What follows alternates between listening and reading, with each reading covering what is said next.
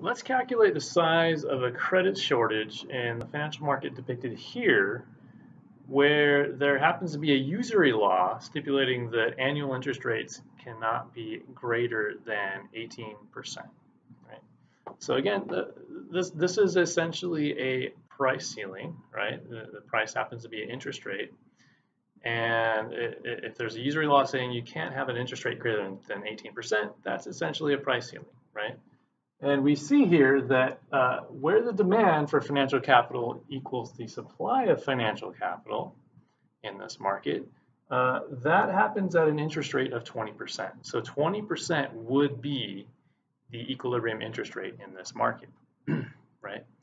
Um, and with a with an 18% usury law, with, uh, with usury law saying that there is an 18% maximum, uh, ceiling on, on, on, on, interest rates, that means that uh, this market is not going to be able to get up to the interest rate where it will tend towards an equilibrium.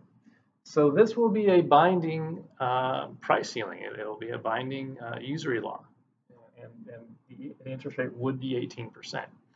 And what that means is that the interest rate is going to be lower than what it would be in equilibrium. And that means that the quantity demanded and the quantity supplied are not going to be equal. In fact, the quantity demanded will be greater than the quantity supplied.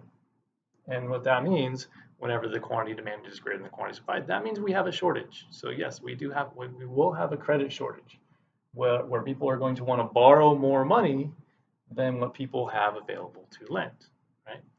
Um, and the size of the shortage, well, it's equal to the quantity demanded minus the quantity supplied.